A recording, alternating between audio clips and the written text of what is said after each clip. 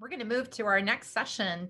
Again, I'm Laura Frerichs, the Executive Director of the Research Park, and my guest for this portion of the program is Linda Jing, and she is the CEO of Genective. Um, but we're going to introduce her in just one moment. So I'll go to a set of slides this is a, a, session that Linda came up with as an idea actually for us, thinking about how much we share different trends that are happening in agriculture and in ag tech eh, throughout the course of this session, that this might be a very good way for us to learn more about um, how we are interpreting new trends that are happening. So she asked a question, which she'll be talking more about, of what is the next Tesla of ag, or what is going to be a very disruptive type of thing that might happen in the industry. We heard a lot about different ideas today. And so I hope some of those will come out in the polls and ways that will interact with the audience today. So let me go ahead and share my screen and we're gonna kick it off. Disruption in ag. So first I'd like to introduce Linda. So Linda just one year ago was opening the center that's behind, featured behind her background here, the new office for Genective, moving its location from headquarters in Paris, France to Champaign, Illinois and Weldon, Illinois, where they have a field station.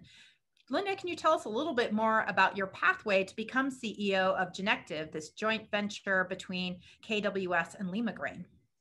Great. My pathway actually started from a farming community in central China. And then uh, I had the opportunity uh, to study in China, obviously, in Switzerland and Japan, and uh, started my first job as a consultant with PricewaterhouseCoopers in Shanghai China. And uh, then I came to United States. Illinois was actually my home state. Uh, in the US, I went to Northwestern uh, in Evanston, Illinois. I'm sure, Laura, you don't hold that against me, um, not UI. Uh, then I worked in General Motors. For the last decade also, I worked in the ag industry. Started with uh, Monsanto, uh, but then departure the uh, departure from the large corporate world as part of a Bayer after Monsanto was uh, acquired. Um, then uh, in the last one year and a half, I have become um, president and CEO for Genective, which is a JV between the German seeds company Limagrain and, sorry, it's opposite, the French seeds company Limagrain and the German seeds company KWS. So, as I said, one year ago, we welcomed this joint venture new company to Champaign. And um, really, this was the last time, probably, that this international group would be able to get together. Of course, the world changed very quickly thereafter. But there you are with a big pair of scissors opening this new office. Tell us about Genective and a little bit more about the technology you're developing. Absolutely. So as mentioned, we are a JV uh, between uh, Green and KWS. Um, both are the largest in the seeds industry in the country and worldwide, they are number four and uh, number five. Limagrain is actually the largest vegetable seed supplier in the world, and KWS is a specialist on sugar beet. So very significant presence in the global seeds industry. And the two companies started Genective to join force in developing and commercializing, commercializing transgenic traits for seeds. Therefore, we are in the business for uh, GMO or GM seeds, which we will talk quite a bit later. Um, we are currently focusing on novel trait solutions for uh, crop to, um, to protect crops from insects, to increase the yield and at the same time to pre prevent, uh, to protect our environment because the technology can also help to reduce the use of chemicals. So um, like you mentioned, we were initially headquartered in Paris, but uh, we decided to move ourselves uh, to the United States to, um, to the largest GM market in the world. And why did Linda you choose Champaign, the Research Park, Illinois, as a location for this global company? Yeah, great question, right? So first it's a location. Um, the uh, UIRP is at the heart of the US heartland. We all know um, these are some of the best land in the world for uh, both farming and research. Um, it is backed by UIUC, a, a world-class university funded uh, with its first priority on agriculture, as we learned from uh, Chancellor Jones earlier today. And then it has a vibrant innovation community with very heavy presence of um, ag food company along the uh, our entire value chain. It was great to hear from you, Laura, uh, during your opening remarks, all the uh, great things that are happening among our neighbors uh, in this difficult year called COVID-19. Um, last but not the least, it's really about uh, the wonderful support system you had here and the UIRP. Um, Genective have benefited a lot from many things all the time. Uh, I would be remiss if I don't mention all the COVID related resource and the support you provided to us from the legal workshop on how do you deal with the force majeure terms in your contract, right? To um, the free and readily available testing to all our employees as a, as a resident company in UIRP. Uh, I, I, we, we, I would just say we cannot keep our operations going, keep our site and the people safe, and keep our team growing through the pandemic uh, if there's not all the support, the, the free testing readily available you provided to a startup like Genective. Um, I, I, just got the news from our, um, our VP of uh, QM and the compliance who's also in charge of safety. She said 18% uh, of Champaign country, uh, County has been vaccinated, which is well above Illinois and well Holy above the national level. Yeah. What did you say? Oh, two shots. Uh, okay, so. yeah, 18% completely vaccinated. That is a great job. I'm sure UI uh, played a big part in that for the Champaign number. Congratulations and thank you. Well, thank you, Linda. We're so delighted to have Genective as part of our community here. And it's been a real pleasure to see the growth of your company and new employees joining Champaign Urbana as experts in entomology and crop sciences and uh, various business functions that are needed to support the company's growth. So Linda talked about her own background, which actually included work in the automotive industry before she came into the agriculture industry. So maybe that gives you a reason why she's posing this question. Give it to us, Linda, from your perspective. Where do you see that there might be disruption? Yeah, um, so so absolutely. Um, I was really uh, lucky enough to start my career as a consultant. For consultant client, always came to us with questions they cannot answer. They are looking for something new, something different. So I would say from day one in my career, I have this mindset about being innovative. And then my time in the corporate setting, actually is very cross-functional. Being it is on the business front line, dealing with customers, dealers, or in supply chain, try to reduce the cost of R&D, working on something that may not come through fruition a decade later. All it is uh, in, uh, in working with government and public, like uh, Dr. Antonsen, who just talked about, engaging and advocating for science and innovation. Uh, I have the great opportunity to really see innovation and disruption can happen on all fronts. Therefore, uh, a company, like it or not, will actually have to observe what's going on on all fronts in order to first be successful and then to sustain its success. Um, I would also say, at the end of the day, for the innovation to take off, to benefit the company, the customers, and society at large, all the stars have um, to be aligned on all those fronts. Um, you know, when you and I talk about um, how maybe Genective can contribute to the summit. That's the turn of the new year, right?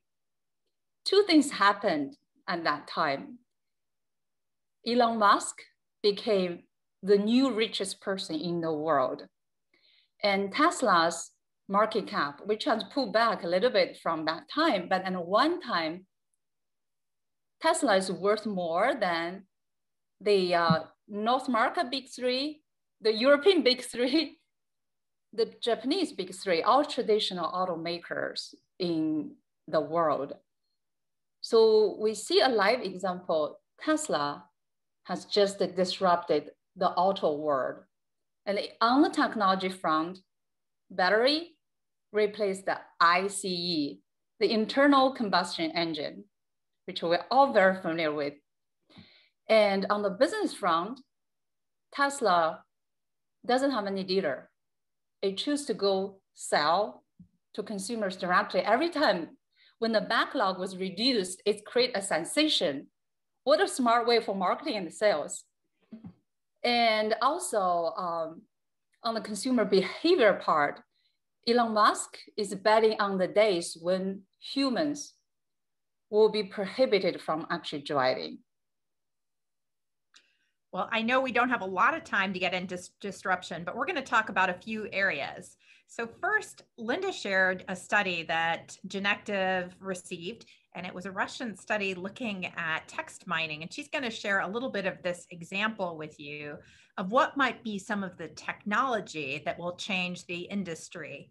So, tell us about this map and these clusters that were identified. Yeah, I know this can be scarily busy, but don't worry. Uh, we have a list of what is uh, the key topics there. And I believe a live poll will be up there for all the audience, right? Yep. And I think we're going to go ahead and launch that poll. Yep. Yeah. So uh, let me move away this poll so I can actually see the slides on my screen. Excellent. So uh, this is a study uh, done by a group of Russians who did text mining among 30 million documents they do keyword search and organize things through machine learning and then put the things of the key topic that based on how close they are to each other, they put it into clusters. And there are 10 clusters. Uh, if I can get the next slide, please. This is actually, uh, you have the same list on the pool, our audience. And if you look under the category here, many of the topics, if you're like me, and try to check in today as much as possible into the um, into the uh, summit. Many of the topic can be touched upon by um, our um, by our speakers. But what is the aggregated view through 30 million documents? Those are documents, of commercial papers, patent filing, scientific papers, social media, and those are the 10 categories. Um, you, you see food supply efficiency, how Dr. Anthony talked about um, in the conversation with our dean, what's the what's the future for chemicals? Obviously, still play a role to increase quantity of the food, but there's also a need uh, through biofortification to increase the nutrition of the food. I'll not go through everything because you're gonna get a list on the pool. Um, but uh, again, another thing, oops, if we could go back one more time, please.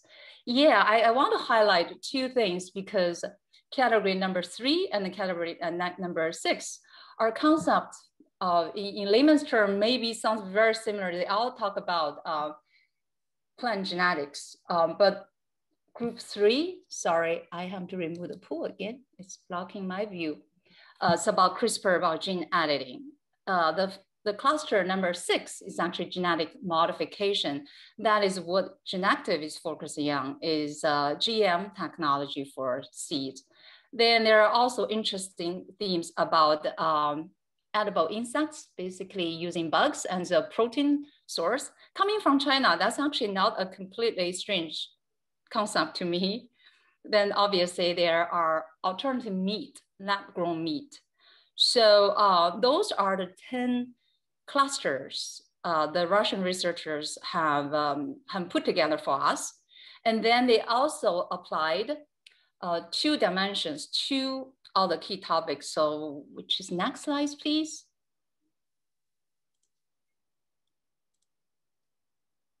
Oops, sorry. And we're gonna show a little bit of this trajectory of the circles you'll see on the screen. Right, they put um, all those key topics in a two by two charts based on how much this topic has been talked about has been worked on. So um, the, the other dimension is, um, is this idea continue to grow uh, in people's work, in publications. Um, then you will see on the left and the top corner, that's the stable area. That's where a lot of stuff has been done, a lot has been talked.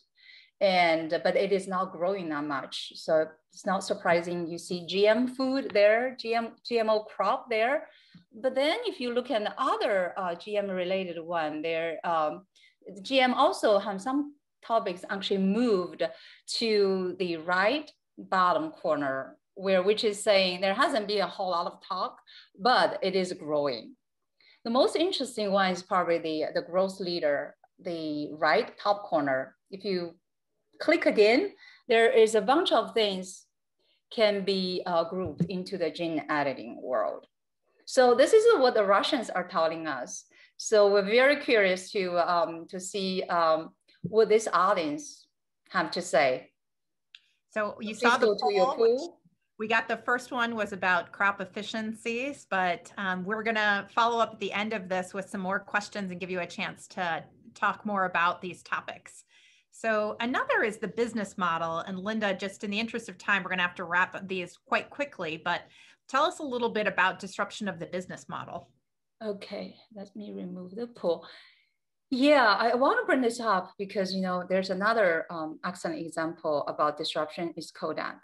Um, most people probably don't know Kodak did not fail on the technology front. The company invented the digital camera, invested in the technology, even understand people would like to share their photo online, but they made a mistake on business model.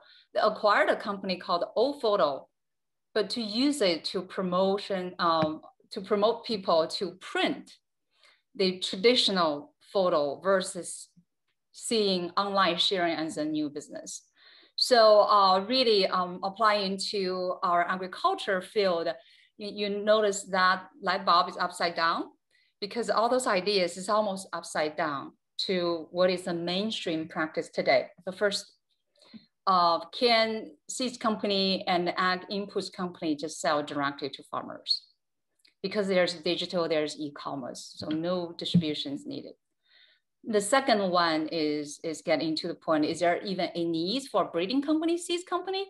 Because now uh, what if farmers are willing and can share and select just in their own fields now there's large scale data exchange analytics and uh, blockchain is going to help uh, with the quality and confidence of the data.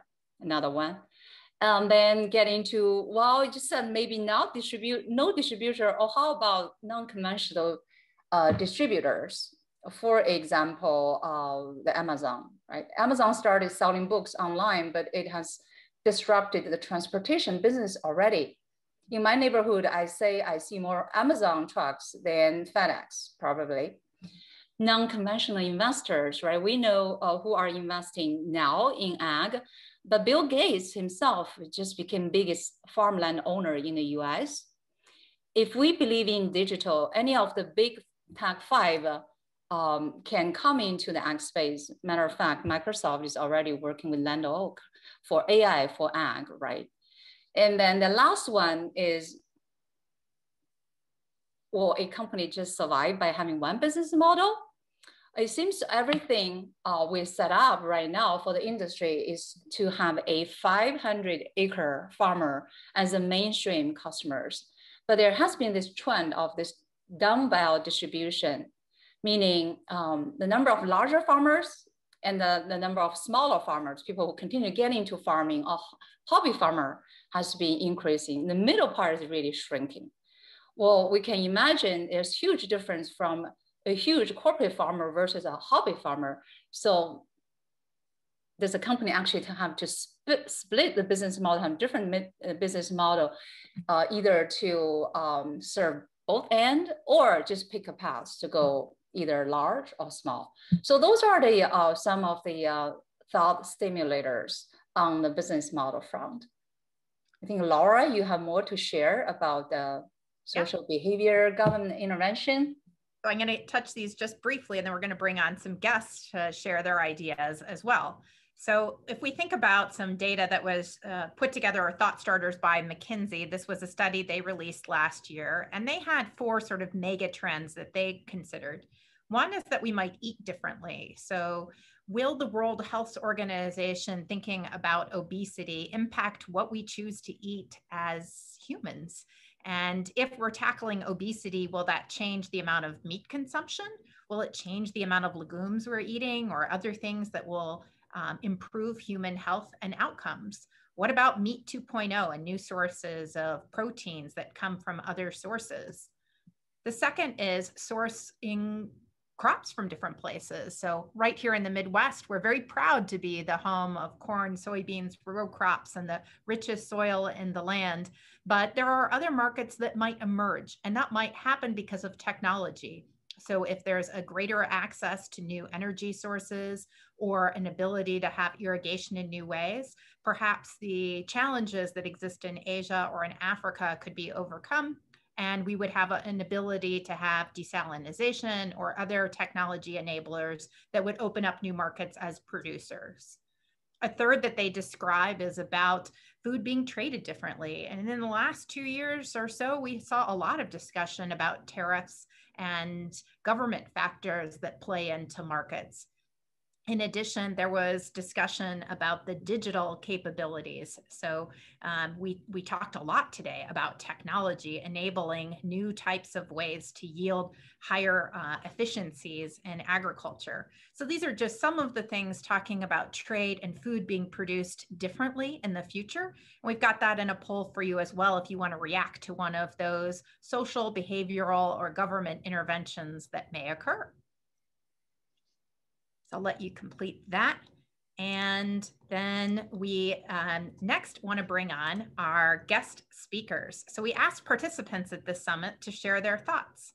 And I'm first going to go to Aiden, who is a grad student who wants to share his thoughts about cellular agriculture. So I'm going to give you the floor, Aiden, to share a little bit of what you submitted to us. Hi, Laura. Thank you so much for the opportunity. Um, oh, it seems my video may have gone out. Um, nonetheless, um, beg your pardon, uh, cell, cellular agriculture, I think, is one of the, uh, has a real opportunity to be one of these uh, quote unquote Tesla uh, disruptive models in, uh, in the future of uh, just the way we, we perform agriculture going forward. Um, cellular agriculture is, it's, it's, similar to traditional agriculture in that you're producing um, meat products or foods and other things, uh, except you're doing it directly in the laboratory, uh, cultivating cells themselves um, in bioreactors and, and sorts. Um, but uh, as opposed to um, you know raising cattle or livestock or crops to to accomplish the same goal of feeding feeding people. So um, I think that you know we're only uh, having we're only going to have an increase uh, demand for food going forward. Um, and if we can do so in a way that's more efficient and is better for the environment, um, I think that's a real opportunity for disruption. I'm sorry, I'm, I'm, asking our people if they can bring your face back up, but Aiden, share what you're studying at the University of Illinois as well. Sure, yes. Um, so I've actually um, been lucky enough to uh, uh, work with the Student Sustainability Committee here on campus to uh, get some seed funding for a small uh, cultivated meat project uh, to uh, kind of test out the feasibility of uh, how we can, you know, begin some cellular, cellular agriculture work uh, on, um, on here on campus. Uh, and I'm, I'm, really excited to, um, you know, be able to do this kind of work at, at U of I and, and through the Department of Bioengineering. Thanks, Aiden. Next up, we've got Kevin McNamara, and he's an MBA student here at the University of Illinois. My name is Kevin McNamara. I'm an MBA student here my background largely um, uh, in, involves real estate, commercial real estate leasing and sales. And so you're going to wonder, how did I end up here? Um, so I lived in Chicago for about 12 years, you know, a huge metropolitan area. Uh, but I know my audience. Uh, I grew up here in town in Champaign Urbana for 19 years of my life, and here I am again for another two years. Um, and what brought me here? Well, this focus in agriculture, obviously with a great college such as uh, College of Aces and, and ACE, uh, as well as the engineering uh, schools are, are kind of a top tier um, caliber of, of student and professors. And as well as the business school, let's not um, count us out as well. But the problem is, is twofold, real estate and land area. Uh, so I discovered this problem in my real estate days and this land area, what I called crowding dilemma, um, you know, a simple math, and I'm not going to go into too much detail, but if we kind of extrapolate at a 1.2% growth rate, the human surface area is going to meet the land surface area available on the in, in the world uh, sometime within the next 200 years.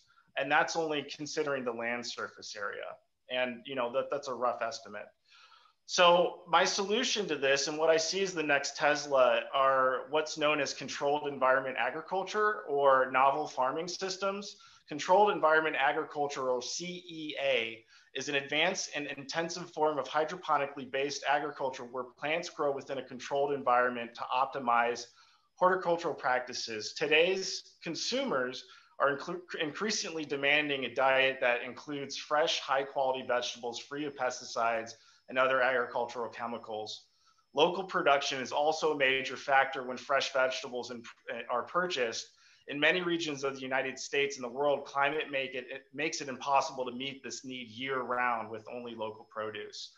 Uh, so one of the companies, uh, there's several of these companies in this country that are doing this, but one that's kind of fascinated me the most is based out of Australia. It's a company called Sundrop Farms, and they're half um, you know, producer of, they're producing tomatoes and they're also half power plant, uh, harvesting energy from the sun. And they're also drawing their water from the ocean and desalinizing. I think it's a very, very novel concept. So are, are these, is, is CEA going to be, uh, you know, the thing that addresses the growing population to eliminate hunger, um, we, could we grow foreign foods locally, like uh, was mentioned earlier by Laura in Africa, in the Sahara? Could we shorten the supply chain and, and heighten trust between um, uh, producer and end user? We have greater quality goods with less inputs, lower water usage? I'm sure the people out west uh, in California would like to hear that. Uh, global warming and, and global uh, greenhouse emissions, could we help alleviate that? and the new consumer uh, behavior, such as ghost kitchens, food delivery. Um, you know, I, I, can see Amazon kind of peeking into this space. I'm sure it's kind of been rumored or is known. But then we have all these buzzwords like machine learning, AI, robotics, blockchain, and of course data, which again AWS uh, has been quite powerful. I've been kind of uh, been it's been pleased a pleasure to discover what AWS is in one of my big big data interface um, classes. I'm sorry to cut you off, but we're a few minutes over already. So you heard from Kevin with his ideas about um, CEA as another trend, and you'll see that as part of the trends that we're highlighting. Some of these have been covered in today's Ag Tech Summit, and some have been covered in past Ag Tech Summits. So we're going to give you a chance to vote on those as well, and you'll see that coming up in just a moment. And I'd like to just kind of wrap us up and encourage you to fill out that last poll if we can go ahead and launch that.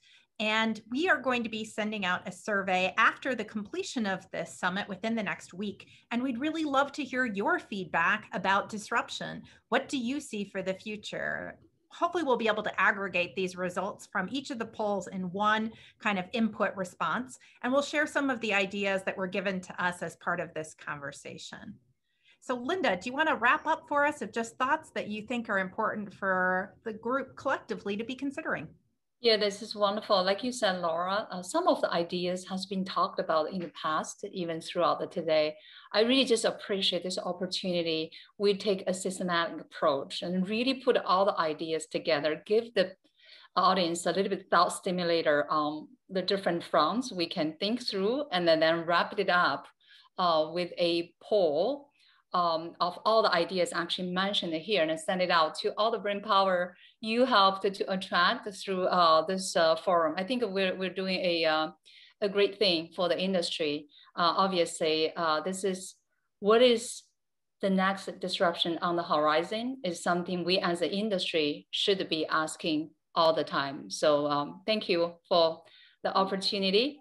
And I would just um, want to say thank you again. I saw as I was talking, uh, there was a live recruiting ads for Genective in the chat box. I just want to take this opportunity uh, to say, yes, we are hiring. We feel like we cannot work fast enough in hiring. So check check out our uh, job postings um, on our websites and, and the LinkedIn. Thanks so much, Linda, and thanks for all the participants that contributed ideas leading into this panel forum.